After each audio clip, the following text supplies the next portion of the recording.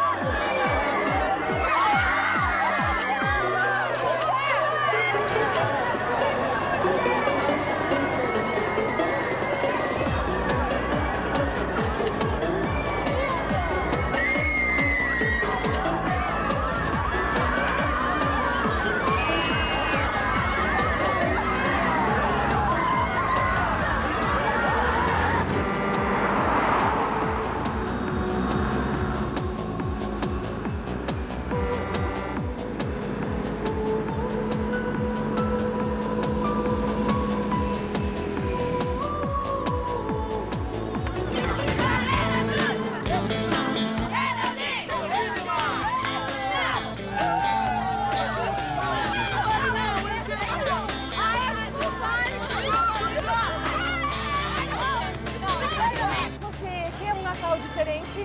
Sim! A claque, claque tem que ser mais rápida. Você quer um Natal diferente? Sim! Você quer um presente diferente? Sim! Você tem cabelo castanho? Sim! Você tem cabelo enroladinho? Sim! Você tem o cabelo pretinho? Sim!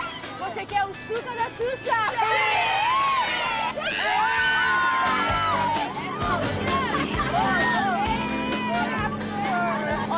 maneiro. Vai ser certinho, né? Assim dá tempo da gente arrumar tudo separadinho. Eu vou poder descansar a barriga, cara. Cara, esse pesão, né? Cara, o ano acabou, chega. Terminou o ano, eu não sei quando ela vai vir. Se é esse ano, se é ano que vem. Vocês vão que nem eu, a mesma coisa. Gente, eu tô louca pra chegar em casa, encontrar a família toda, eu tô morrendo de saudade. E tem mais uma coisa. A minha prima do Canadá vai chegar.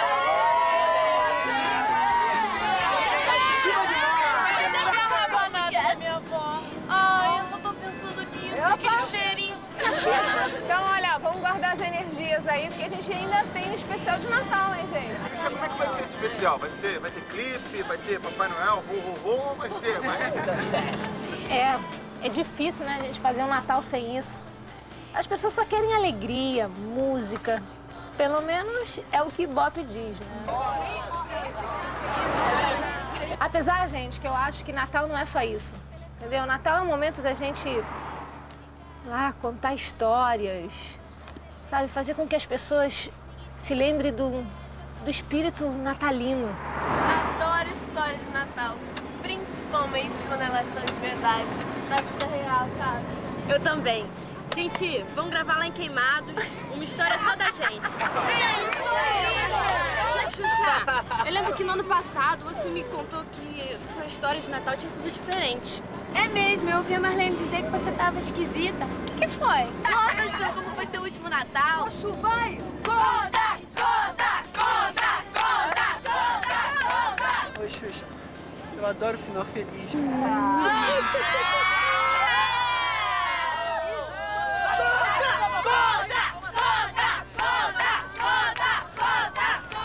Ok. Eu tava saindo de um shopping eu tinha terminado de fazer um comercial de final de ano. Aí eu parei pra dar uns autógrafos e a confusão começou.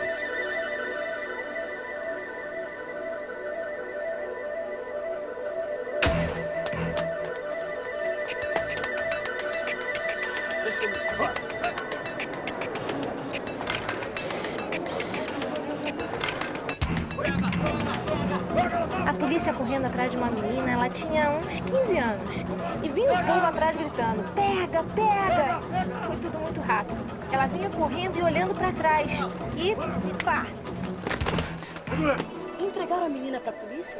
Eles iam fazer isso, entendeu? Chegaram até pegar a menina. Quando ela percebeu que eu era eu, percebi o alívio que ela sentiu. E deu pra ver um brilho no olho dela, gente. Olha, ela estava tão assustada que eu não resisti, peguei na mão dela e ela me olhou bem dentro dos olhos e disse: Me ajuda. Me ajuda. E a polícia chegou a levar a menina? E você perguntou o que ela tinha feito? Os fãs não fizeram nada pra te proteger?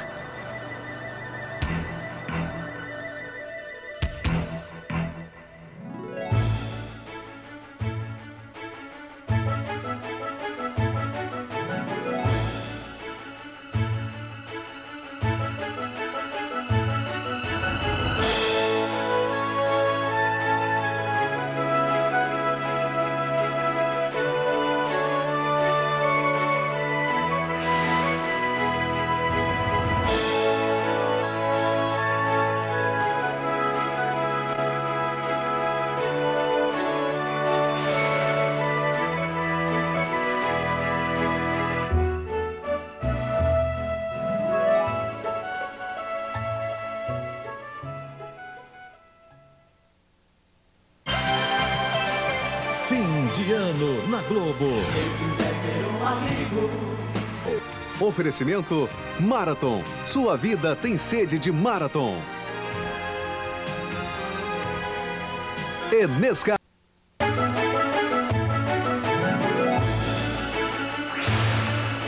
Me ajuda.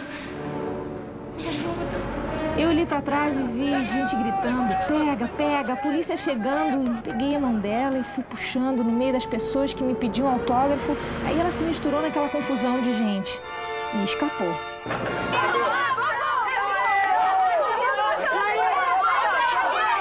Peraí, peraí! Eu quero fazer uma pergunta. Ô, Xuxa, isso não é contra a lei? Você não virou cúmplice da menina? Ai, Fly, que maldade. A menina estava pedindo ajuda. Você acha que a Xuxa ia entregar a menina pra polícia? A polícia quis te prender? Não, olha só, gente, deixa eu contar. Eu continuei dando autógrafo, né? Aí quando eu tava dando autógrafo pra despistar, eu olhei assim pro chão, aí eu vi uma coisa caída lá no chão. Era o fruto do roubo. 50 mil reais em notas de um. Pô, cara, cheio de maluquice. Você já imaginou o tamanho desse pacote de dinheiro? Já sei, gente. Um anel de ouro. Mas vocês vieram aqui pra falar ou pra ouvir? É. Já é, legal. Dá pra falar? Dá. Ok. Então, olha só, gente. Quando eu olhei, só tinha o nome dela num documento que era Maria Marta da Silva. E um papelzinho todo amassado com endereço. Doce Lar dos Velhinhos. E você não entregou pra polícia? Não, né? Eu, eu ainda não sabia o que fazer e, afinal de contas, era Natal, né, Deus? Não, não dá. Eu fui pra casa. Mais tarde, lá em casa, tava todo mundo na maior agitação. Preocupados com a comida, com os enfeites. Tava tudo lindo. Mas a minha cabeça tava longe. Muito longe. Você lembra, Gi? Você tava lá arrumando os presentes na árvore. Aquela alegria toda.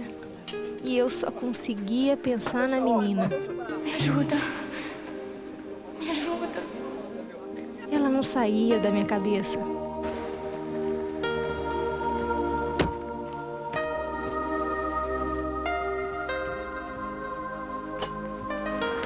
No dia seguinte, eu peguei aquele endereço e fui lá. Sozinha? A Marlene não foi? Xuxa, tá limpo. Não tem ninguém. Nem vale a pena você entrar. Parece abandonada. Mas alguma coisa me dizia pra eu entrar. Que eu tinha que entrar.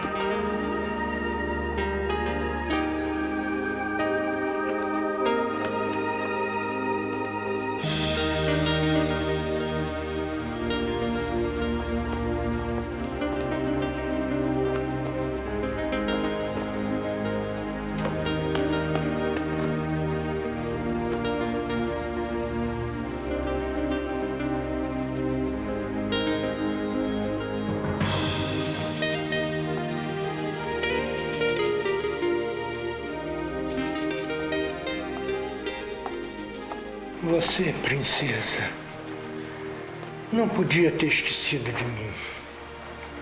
A nossa valsa. Lá, lá, lá, lá, lá, Não, adianta não, porque eu não acredito em nada que vocês dizem. Vocês só falam mentira. Não acredito em nada, nada, nada, nada. Não, não, aquele cuidado pra não deixar a lamparina acesa, hein? Cuidado. Olha, olha.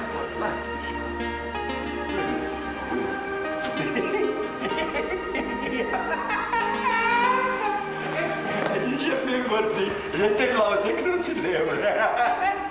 Quanta carola de controlar, hein? É bom pra mim. Se a, a Jacira já preparou o jantar. Ô, menino! Você não tá vendo a moça, menino? Toma cuidado, menino. Toma vergonha. Você não vê onde é que você anda, menino? Menino safado. Me dá uma vara de giga que te dou uma sova, seu moleque sem vergonha.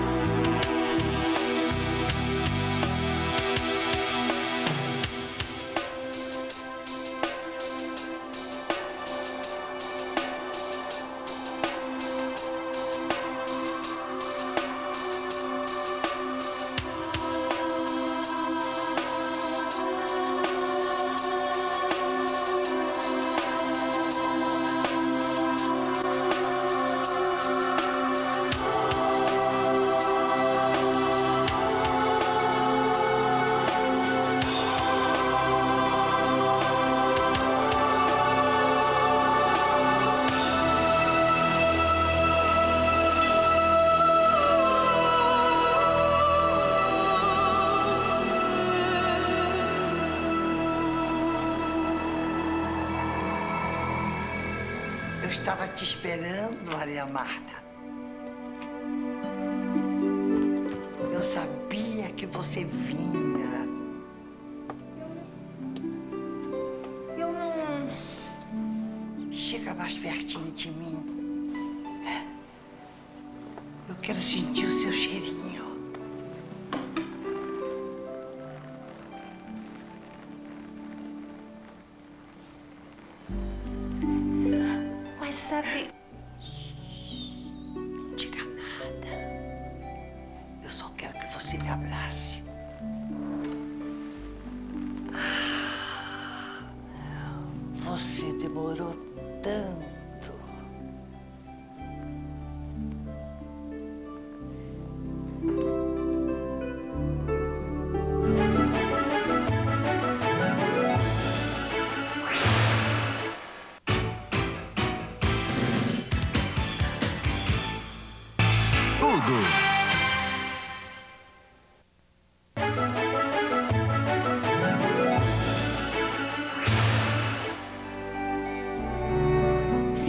Emoção muito, muito grande.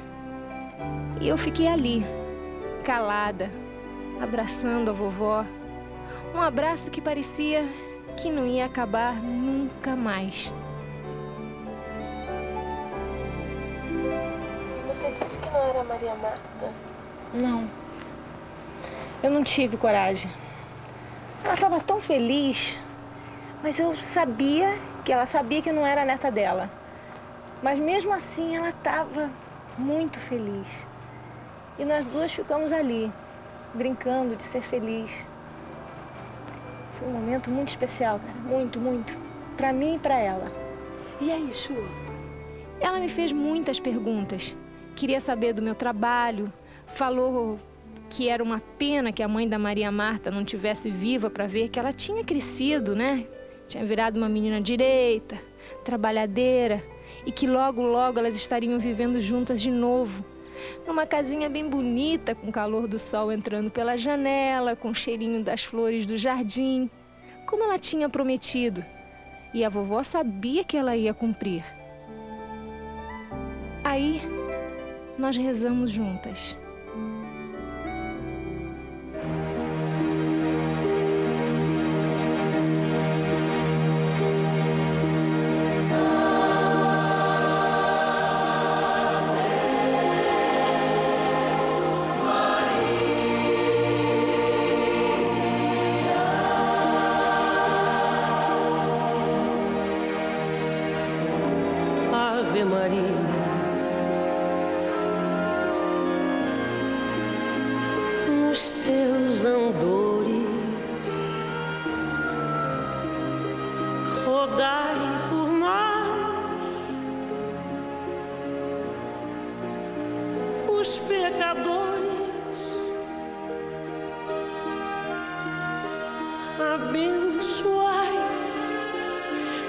Destas terras morenas, seus rios, seus campos e as noites serenas.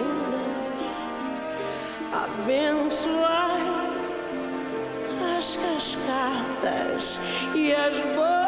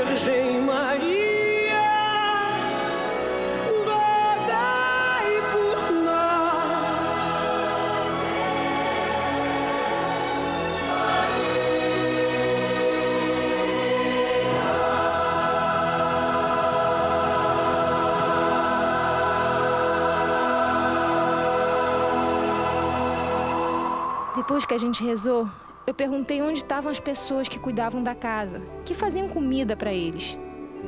Ela me contou que eles tinham ido embora dois dias antes. Deixaram os velhinhos ali sozinhos. Quem dava comida pra eles? Por que ninguém da rua percebeu? Ninguém fez nada? Ah, gente, deve ser porque só tinham cinco velhinhos, né? Não, mais de cinco. Mas é que dois fugiram. E parece que alguns, as famílias também apareceram lá e, ó, levaram. Quem não podia ficou por ali mesmo, entendeu? Agora tinha uma vizinha que aparecia por ali em dois em dois dias pra ver como é que tava a situação, se eles precisavam de alguma coisa. Mas e aí? Continua, conta mais.